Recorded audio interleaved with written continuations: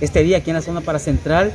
hemos decidido accionar en vista de que las autoridades no le han puesto seriedad a la denuncia que ya hicieron los trabajadores, lo han hecho de manera escrita ante la máxima autoridad de seguridad, que es el licenciado Oscar Alvarenga, el director de seguridad, y en vista que ellos han tomado a bien ni siquiera ponerle atención a la denuncia de los trabajadores,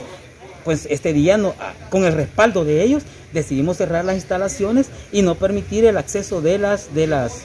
eh, jefaturas de seguridad de aquí de la zona para central e igual manera pues ahí están unos reos que no pueden salir por la actividad que tenemos. Y la denuncia está enmarcada en que hay malos tratos, hay abuso de poder, hay traslados arbitrarios, mal uso de los recursos del Estado. Entonces no podemos permitir que esa denuncia que el trabajador hace, esa denuncia que nosotros las organizaciones hacemos ante las máximas autoridades, no sean tocadas a fondo y darle una solución. Creo que la autoridad debería poner atención antes de que esto se ponga un poco más crudo.